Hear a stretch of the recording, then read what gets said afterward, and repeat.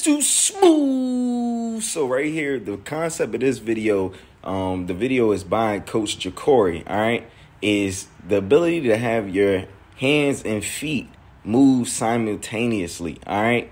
Doing little drills like this, they do help. They are efficient, all right, especially the mitts. You want to make sure that you get on the mitts for striking accuracy, all right?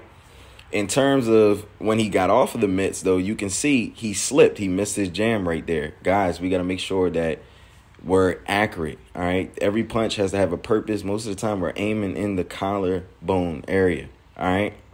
This allows us to have a lot of control over the receiver and a lot of control over the route. All right, guys. All right. We got to make sure that we're doing that.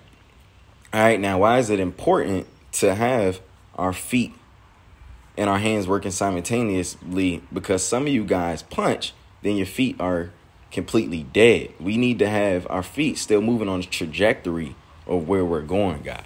All right.